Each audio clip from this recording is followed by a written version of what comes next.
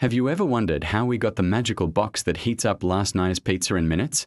Well, buckle up, because the story of the microwave oven is a wild one, and it all started by accident. Flashback to 1945. An engineer named Percy Spencer was working with something called a magnetron, a key part of radar technology. One day, while standing near the active device, he noticed something strange. The chocolate bar in his pocket had completely melted. Instead of just getting annoyed about his snack, Percy's curiosity sparked. He decided to experiment.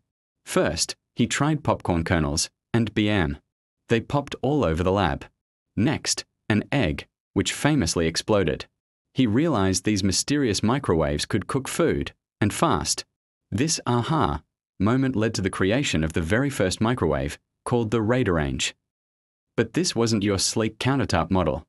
It was a six foot tall, 750 pound beast. From a military grade gadget and a melted chocolate bar to a kitchen essential, it's an amazing story of accidental genius.